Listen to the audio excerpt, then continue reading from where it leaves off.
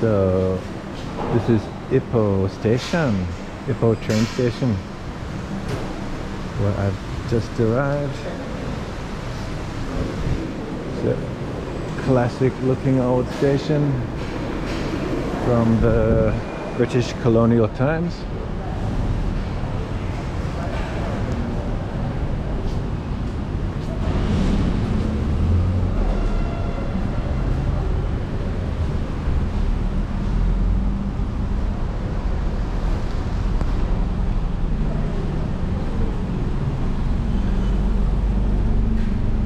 Not sure where I'm gonna stay in this town. I was here about 11 years ago last time and I stayed probably about one hour and just had a very quick look around the center where most of the older buildings are but I think there's a bit more to this town so I'm gonna have a wander around and stay a night this time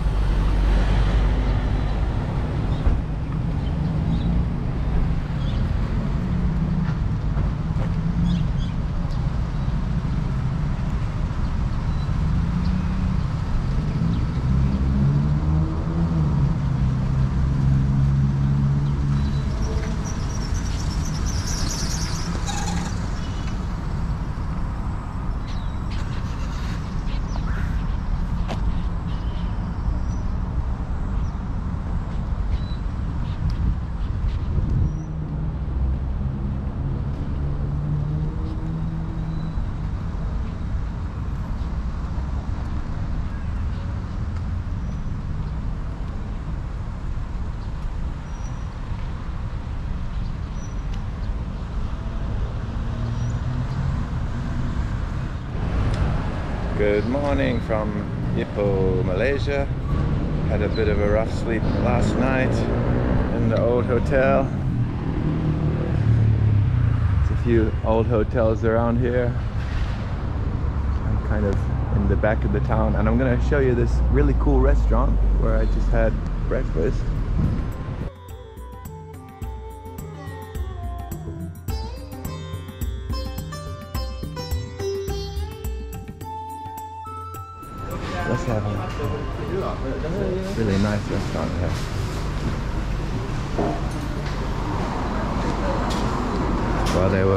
Cooking chapatis this morning, but they're finished now.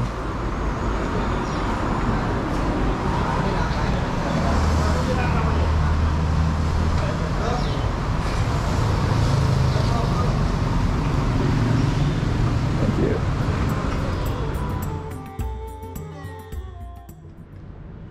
So this is what 70 ringgit gets you in Ipoh, Malaysia, in a hotel room. Toilets down there. And kettle, few cups, flat screen TV, aircon, some windows. Windows. You don't always get windows in Malaysia, which is quite odd. Double bed, it wasn't too bad. a Couple towels, mirror, and a shower, but no toilet in the room. It's a little bit odd, huh? But okay, not a bad price, but not the cheapest in the region, I can say. Let's have a look downstairs here. But it was a clean place. The only problem, they put these things that people in the West put in the toilets to make it not smell too bad. The things people put in urinals to keep the smell from being too nasty. They put them in the under the bed and in the corners of the room, which really smells bad. And I just couldn't get the smell out all night. I had to wake up at 3 a.m. and open the windows, and it still had that smell. Gave me a headache. Anyway, time to check out.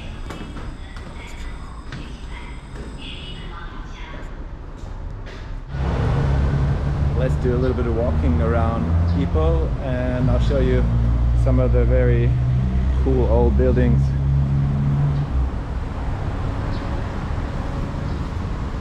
This place could be like the next Georgetown, Penang or the next Malacca if it was cleaned up a bit more, renovated a bit more.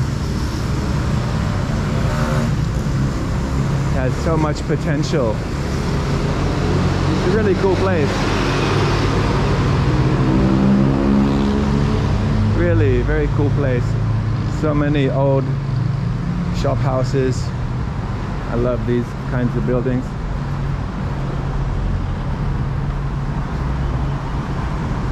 This street seems to be the main street that heads down to the train station. Down here last night there was really good Chinese food. It's like an outdoor food market with many restaurants along the side and I definitely recommend it very much. Good prices too. Really yummy Chinese food.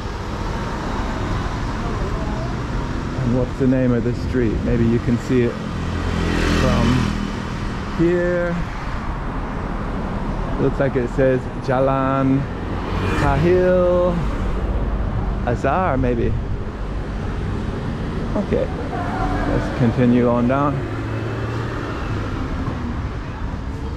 So at the moment, I'm on the side of the old town, across the river, on the opposite side from the train station. I mean, when you go from the train station into the main part of the old town, but then you get about halfway through and you cross the river.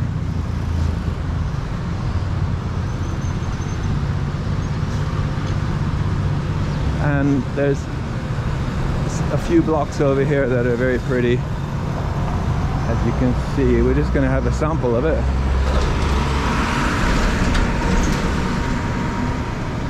Let's run for our lives. Don't have to run for our lives. Ah, they've stopped for us.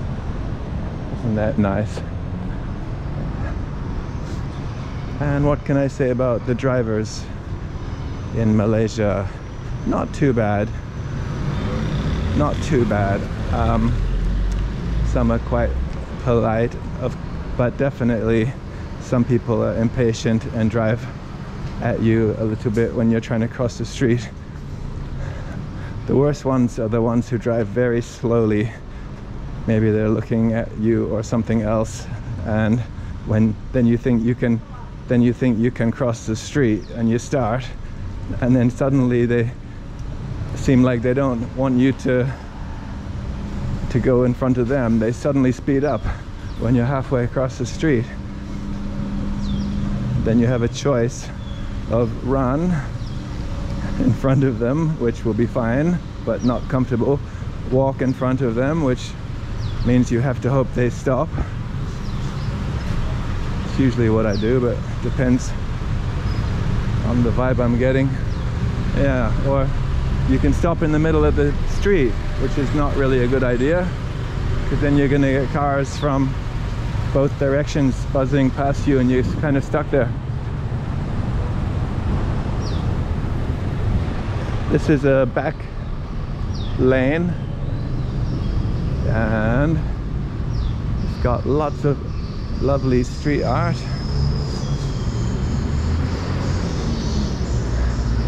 So we can see Ipoh is following the trend that took off in Georgetown, Penang. Street art trend which has spread to Malacca also and a little bit in KL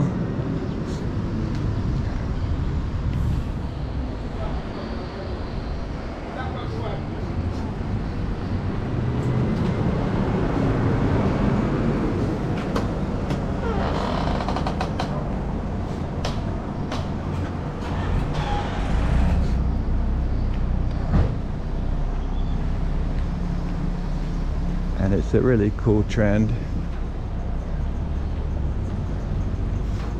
It makes a little back lane like this one behind the shops into a really cool place.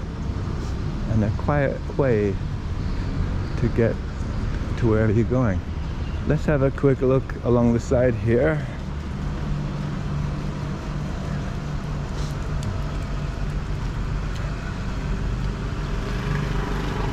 There's this really nice old house here. And a really great mosque I love this mosque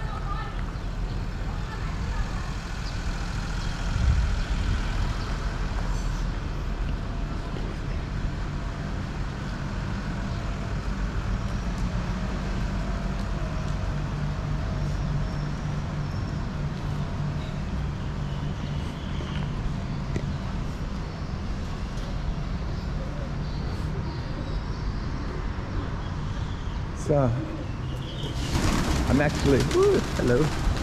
I'm actually carrying everything that I'm traveling with here. Just small day pack, everything packed in there and doing it the old school way. Actually, long time ago when I started backpacking, I did the full-size backpack thing.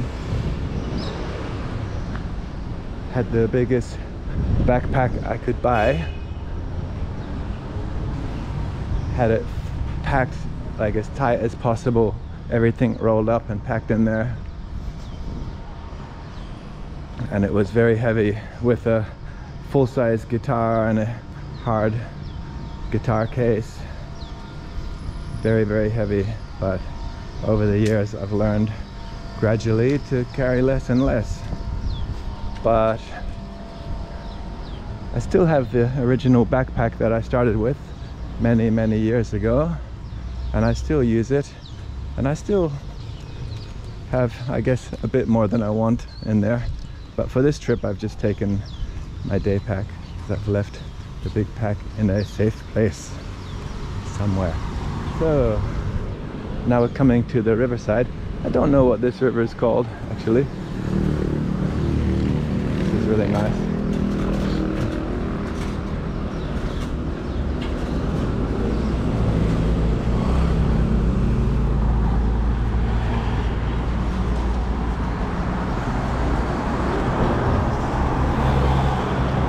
The street we were walking on before.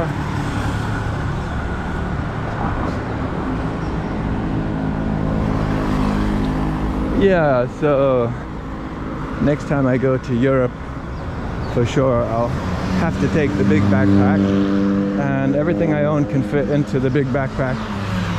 That's my world there. And mainly it's the problem with too many clothes. So you might see in my videos I wear the same clothes a lot. That's because I'm trying to wear them out.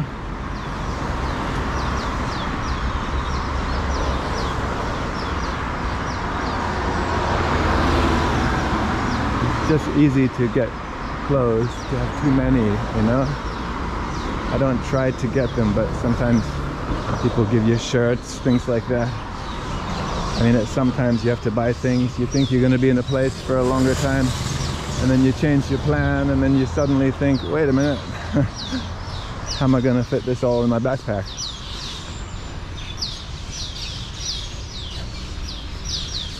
But the old school way, of course, is carry everything and walk a lot. I've been doing the backpacking thing long before we had internet. When I started out, there were some early guidebooks, but I didn't use them for a long time.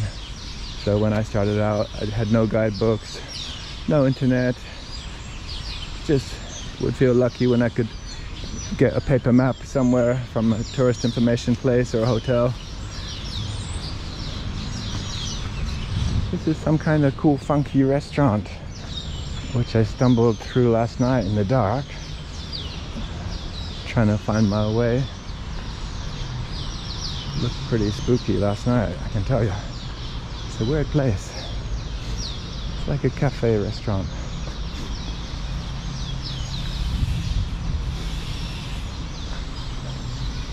Yeah, so everything's a lot easier now with the internet, apps, many more guidebooks, videos online like this one, which can just give people tips about places and how to do things.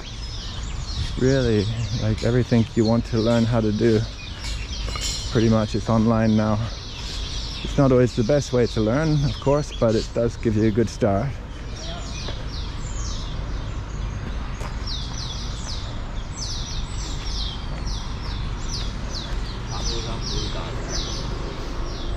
If you want to learn how to fly a 747 or build a nuclear bomb, chances are on YouTube or somewhere online, you're gonna find something that will help get you started at least. Okay, now we've crossed the river and through this weird little cafe place and uh, this is where I walked last night looking around for a room.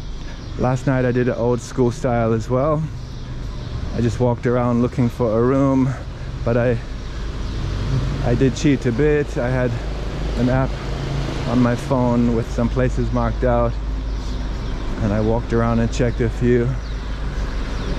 And it really helps of course it helps a lot. In the past I would ask people or just walk and look around. In the past I always had a tent and a sleeping mattress sleeping bag and if I had to I would sleep outside but uh, okay that's great. In the Americas uh, North America or Europe I mean USA Canada the West um, but it's a bit hot in Southeast Asia for that or some other parts of the world so. And the rooms are so cheap in this part of the world. There's really no reason to be sleeping outside unless you're like really in a bad situation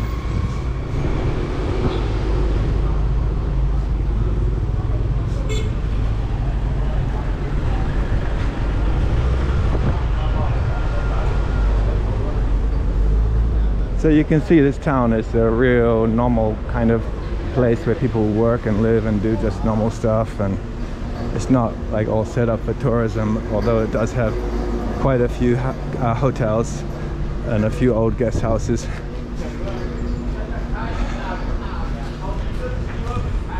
And a few backpackers. And that's a big change in the last 10 or so years that people have started to open hostels copying Western style. Before it was mostly about guest houses and hotels.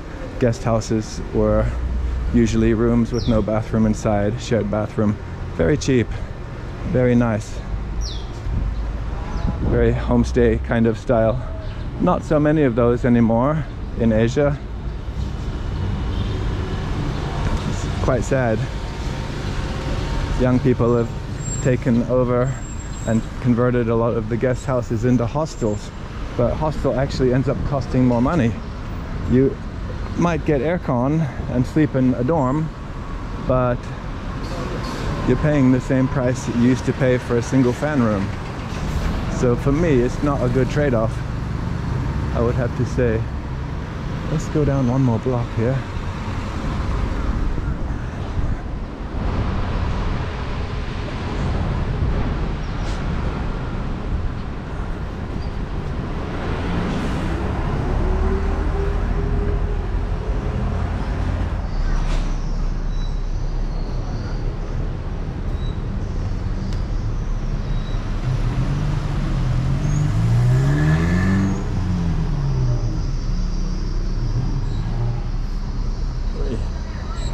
Asia.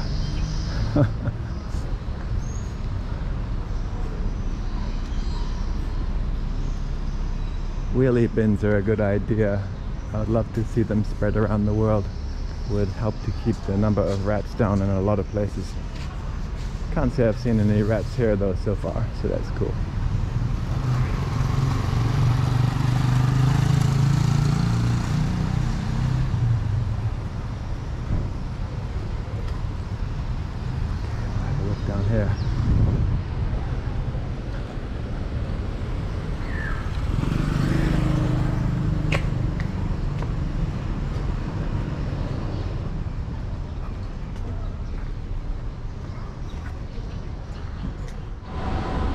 Here's a really cool place, Sinhalese Bar.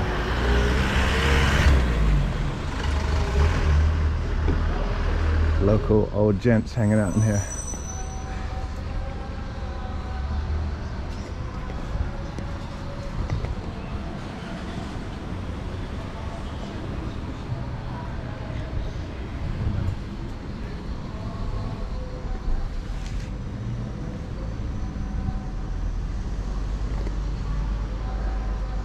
Karachi trading. Interesting to think about how the world connects, how things link up. the street there on the left goes back to the bridge we crossed. Okay, let's head down here.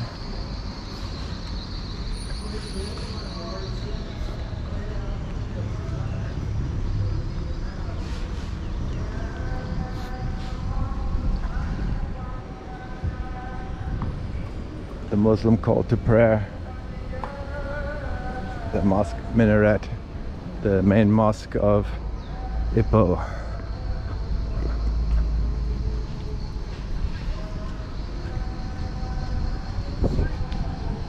And we're just coming up on the left here to a lane that's very photogenic.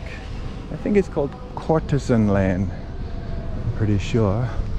I guess it's the place to find yourself a courtesan. If you're looking for such a thing. It could be very handy, perhaps.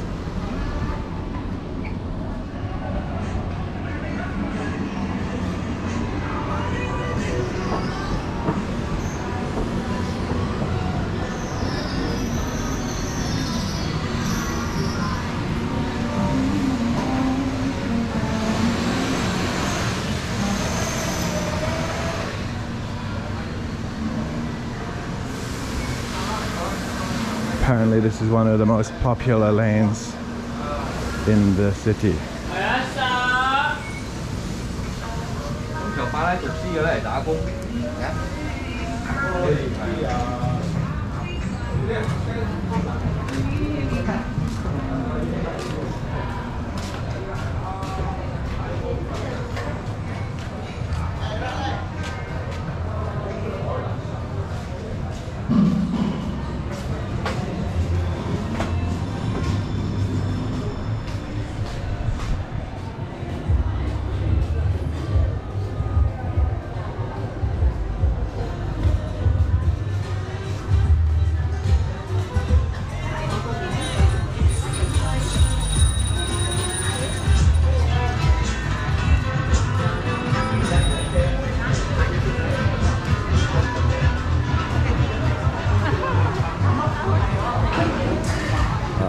places like this with the old tables and chairs.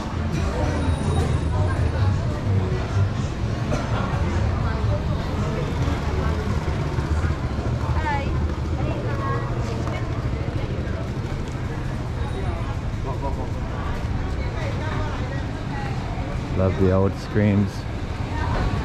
The old bamboo cane screens. 来，这张咖啡比较好喝。哦，sorry。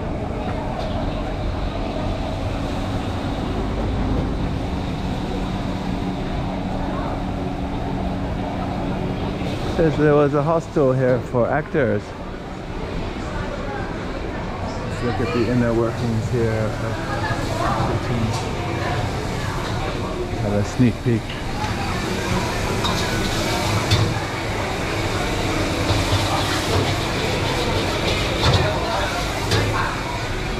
Behind the scenes glimpse there. Alright. Looks like a cool place. Ceiling fans, ceiling fans and old tables. That's what I like. Old chairs. And young woman here walking along. Just need a cold drink.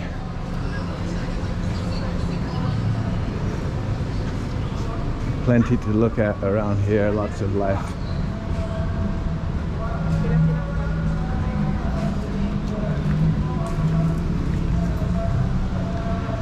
A mix of locals and people from other parts of Malaysia and a little bit of foreign tourism along here I would say. But not too much actually. I haven't seen so many foreigners. The clock tower from the British colonial times down there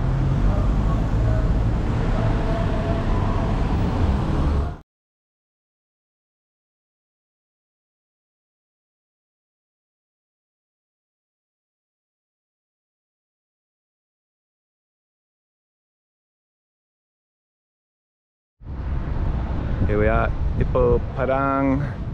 I guess this is a bit like the Merdeka or Derka or whatever, Merdeka in uh, KL. It seems like it, it would have been, I guess, a place where the British could have practiced their marching with their soldiers a bit sometimes and had special events and played games of cricket. You see there's a bunch of old shop houses over there. And there's this kind of impressive old building over here. Nice area. It looks like it's gonna rain though.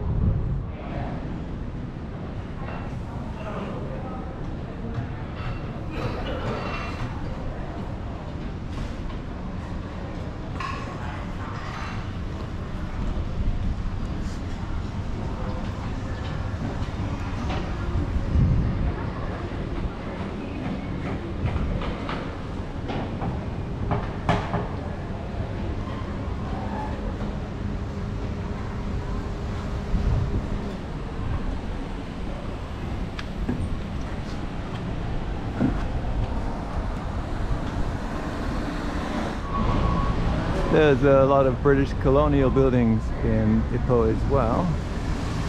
It's an interesting looking place. Seems like I don't know what this building is. It looks like some kind of a I don't know, like a maybe sport ground or something before.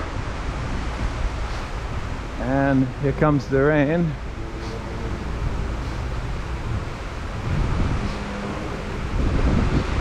We'll get under cover here.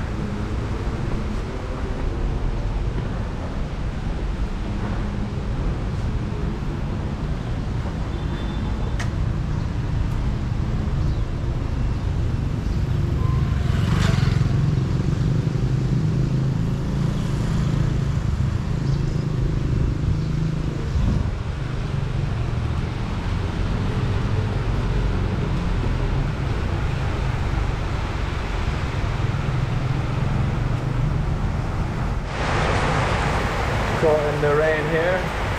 This is how it is. And we do old school backpacking.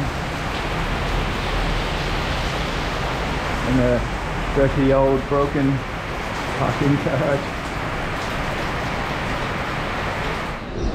Okay, that place I was behind before looked like maybe a stand for some sport ground or something. It was the back of this place.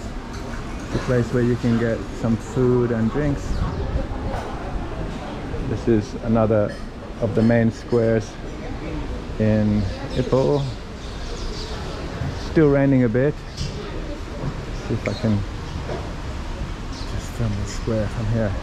It's this kind of funky new wave mosque over here and this really iconic clock tower and that building over there is the one I was sheltering next to.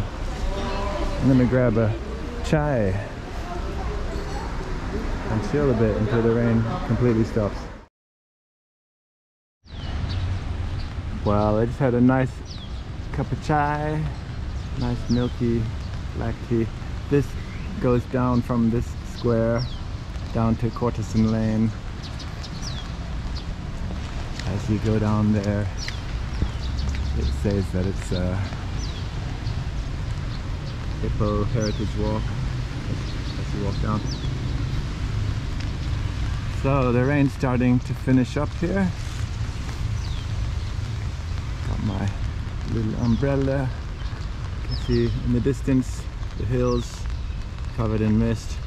Behind this big white building where I was sheltering next to before, behind there, just back where the hills are, you see there's a white building. That's the train station. I'm gonna head for there and take off to the next place. But it's been great. Ipoh's been fantastic definitely recommend it for anyone. Ciao. Well, I've just snuck into one of the old British colonial buildings. I think this was, part of this building was uh, for the um, governing of this province.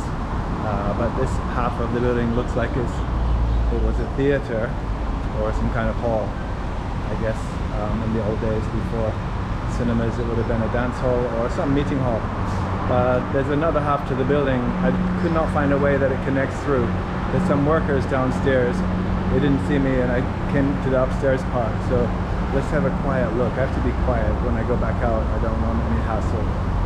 Okay let's have a look. I'm not really supposed to be in here obviously. Beautiful view of the hills there. And the hills continue around. The Cameron Highlands are somewhere back in there. I think maybe more to the right a little bit It's a great balcony. So if the Queen of England had come here, or I guess the Governor General of Malaysia, they would have maybe stood up here and waved to everybody. But this beautiful old colonial building is really falling apart.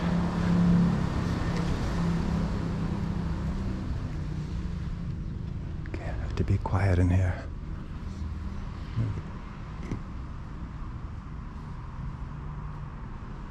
Pigeon up there. Oh, chandelier. Couple side rooms. I've had a look in there. Nothing really interesting. This room's locked over here. I guess this might have been the VIP area. Maybe there was a viewing box in here. I'm not sure. Head down here to the main entrance area and I'll show you inside the main hall.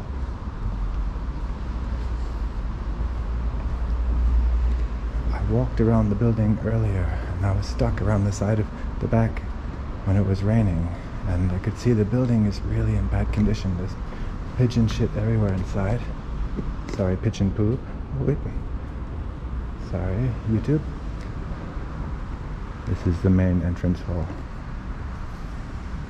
Portrait of, I guess, the Sultan and his wife. In the old days would have been a portrait maybe of Queen Victoria and her husband, Prince Albert. And here's the main hall.